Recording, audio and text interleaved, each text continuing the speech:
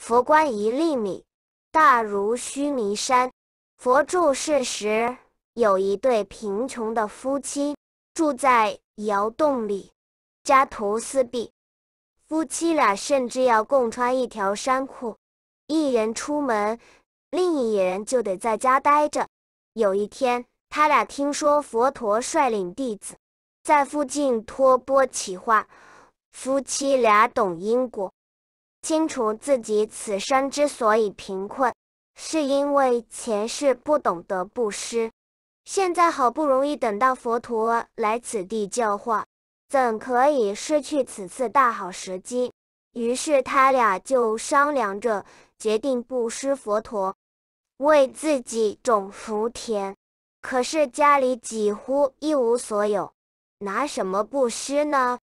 丈夫想了想，说：“不管怎样，我们宁可饿死，也不能错失这个机会。我们现在唯一尚且完整的东西。”就只有这条衫裤，我们就拿它供养佛陀吧。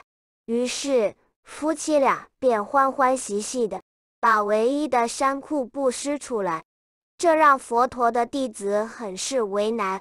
弟子们互相推诿，一个个掩鼻而避，不愿接纳。最后，阿难尊者拎着。这条衫裤请示佛陀，佛陀，这条衫裤实在是不能穿，还是丢掉吧。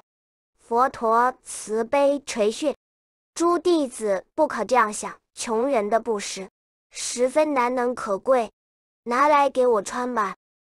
阿难心生惭愧，捧着山库，和目犍连尊者一起到河边清洗。谁知道山库刚一进水，整条河立刻波涛汹涌，暴涨暴落。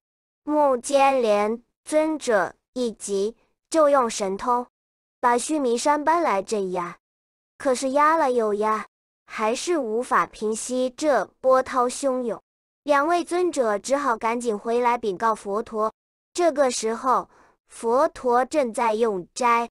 就轻轻拈起一粒米饭，对他们说：“河水翻涌，是因为龙王赞叹穷人能够极尽布施的愿心。你们把这粒饭拿去，就可以镇住了。”阿难尊者很好奇，问佛陀：“佛陀，为什么那么大的须弥山都镇压不住，而一粒小米饭就可以镇压住那样大的惊涛骇浪？”佛陀笑着说：“你们拿去试试再说。”阿难尊者和目犍连尊者半信半疑地将这粒米饭丢进河里，河水竟一下子风平浪静了。两位尊者深感不可思议：难道一座须弥山的力量反而比不上一粒米饭？两位尊者立刻回来请教佛陀。佛陀开示：无二之性，即是实性。一粒稻穗从最初的播种，经过灌溉、施肥、收割、制造、贩卖等等，累积了种种的力量与辛苦，方可成就一粒米。它所蕴含的功德是无量的，正如同那条贫穷夫妻施舍的衫裤一样。那是他们唯一的财物，全部的家当。他所包藏的心量是无穷的。龙王懂得一粒米的功德，与一条衫裤的功德一样大，都由虔诚的心念发出，所以赶紧让河水停止翻涌。